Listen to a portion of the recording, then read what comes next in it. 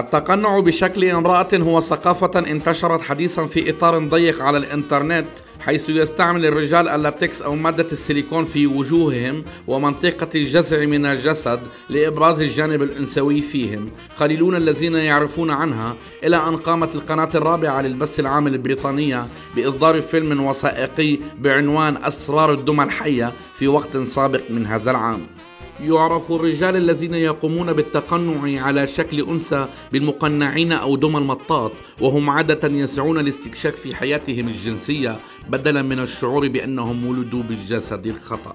المدعو كيري هو من المقنعين البارزين يبلغ من العمر 52 عاما وقد بدأ بأعمال صناعة الأقنعة ويبيعها للرجال المماثلين له.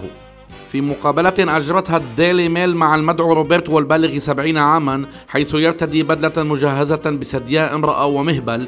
بالنسبة له فإن هذا الفعل هو انعكاس لخيبة أمله الناتجة عن إحباط العلاقات العاطفية في الحياة الحقيقية. بكل الأحوال فإن الذين يتقنعون بشكل أنثى يثيرون انتباه الكثيرين لذا فهو نوع من تأكيد الذات.